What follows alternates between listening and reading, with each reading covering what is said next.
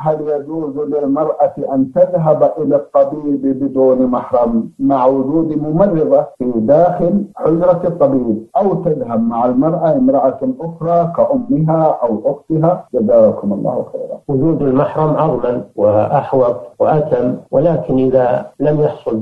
خلوة منها مع الطبيب يعني كان حضر من الممرضات أو حضر من النساء معها من تزول به الخلوة فالأمر في ذلك أخف إن شاء الله ولكن كل ما كان معها محرم فإن ذلك أحوط وأتم نعم جزاكم الله خيرا وأحسن إليكم